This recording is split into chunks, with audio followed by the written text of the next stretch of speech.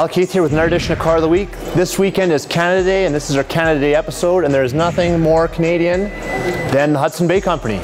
Do you know the Hudson Bay Company has been around for 348 years? And we are going to give you a gift certificate to the Hudson Bay Company so you can pick up a Canada flag or some Canadian apparel. All you have to do is like this video, share it, comment below, and we're going to pick one winner on Friday to come pick up your Hudson Bay gift certificate. Let's move on to the car of the week. This week we have a 2015 Lexus RX 350 F Sport Series 2. It just arrived, just came in off trade. It has only 30,000 kilometers on it. This vehicle retailed for $62,221 back in 2015 when it came in.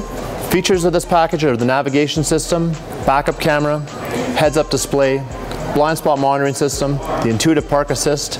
It comes with 19-inch dark finished wheels. Let's take a look inside the cab.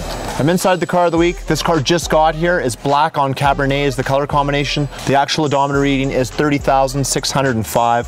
One thing I really like about the F Sport is the Mark Levinson sound system. 15 speakers. Let's have a listen.